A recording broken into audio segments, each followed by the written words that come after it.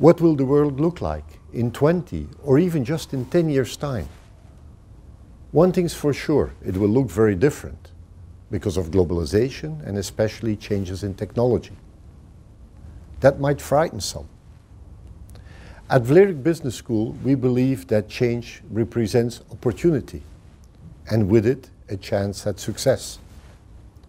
That is why we want to incite the business community to relentlessly reinvent itself.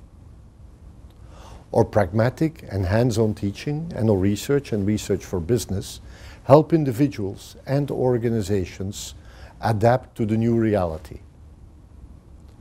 Above all, we value change as a chance to see the challenges ahead of us and be more open to adaptation and new solutions.